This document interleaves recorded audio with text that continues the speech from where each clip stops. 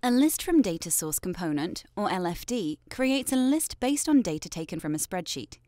In this video, we will create a sample of the LFD and go through its common features. First, drop an LFD component into a screen of your app. You can choose from five layout options when using an LFD with your app. These are Directory, Newsfeed, Agenda, Featured List, and Simple List. Several of these layouts are used as examples in other articles and videos in our Help Center. From among the five layouts, let's select the directory to add that layout to our screen. After selecting the directory layout, let's preview the list to see what it will look like. Each layout comes with sample data to guide you along setting up your own.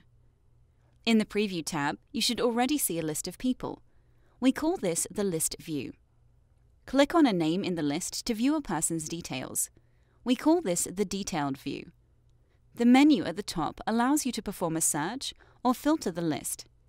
Later on in the video, you'll learn more about adjusting the data fields displayed in the list and detailed views, as well as changing or turning off search and filters. Click the Edit tab once again to exit from Preview, and click on the directory to edit it.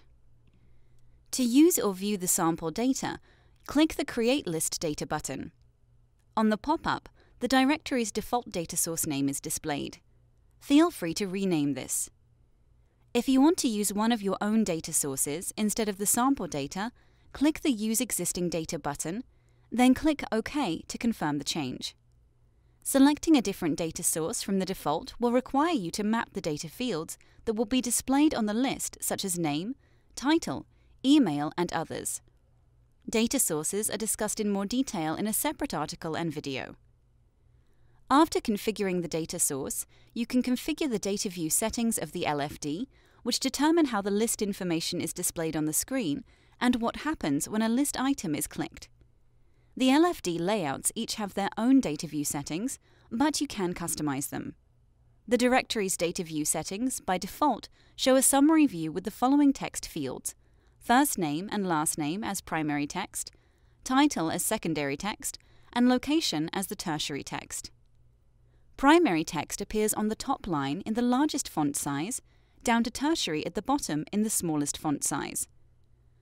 At the bottom of the data view settings, the summary click action shows what will happen when a list item is clicked. In our directory layout, clicking a list item shows the item's detail view allowing users to view more data about a person. This additional data includes icons for emailing and calling, and a paragraph of the person's bio. More fields can be added by selecting the column in the data source under the field name column. The field name will be used to format the data appropriately. By default, above each field will be the column name as the label. This can be changed in the Field Label option. Alternatively, you can set it so clicking on a list item opens a website. The link for this must be in the data source. Now that we're done with the data view settings, click Back to Settings to go back to the main configuration screen for our LFD. Below the data view, there is an option for you to set how the list will be sorted. In the directory layout, the default sort option is by first name, alphabetically, and in ascending order. This sort option can be edited by expanding the accordion. The data field name of first name corresponds to the field in the data source. The sort by option can be alphabetical, numerical, by date, or by time. Lastly, it can be sorted into ascending or descending. To add another sort option, click the Add Another Sort Condition button. This will insert the new sort option below the default. You will then need to define this new sort option. After defining your sort options, you can define how or if you want your list to be filtered. With a filter, you can limit the list to show only specific data. For example, we can add a custom filter that will return only a list of people located in London. To add a filter, click the Add a New Filter button. For our data field, let's select Location. Under Logic, select Equals, then enter London as the value. After setting sort and filter options for your list, you can choose to limit the number of items shown in the list. You can set a limit to make the list load faster or be easier to read.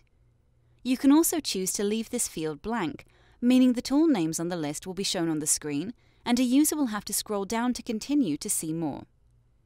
Next comes List Search and List Filter, which are turned on by default for better usability. To add a field that can be used for searching the list, enter the field name in the box, then hit Enter. You don't have to open the data source to know the field names when adding fields to search or filter. If you click the input, a list of field names will be displayed. For example, to let your users search the list for email addresses, enter email. This adds email to the list of searchable fields. This way, if a user types an email address in the search box, it will find the corresponding person. You can perform the same procedure above for filters.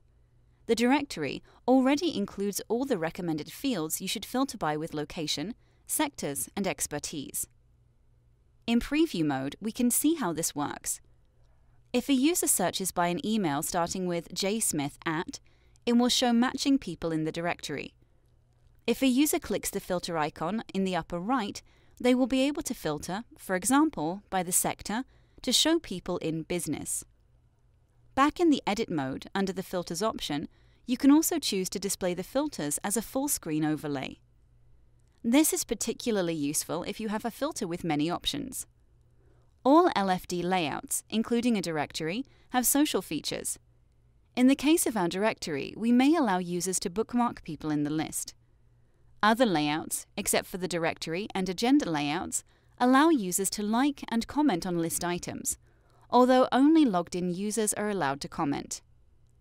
Next, we have Entry Management, which allows users to add, edit, and delete list items. For example, you can allow people to edit their own profile.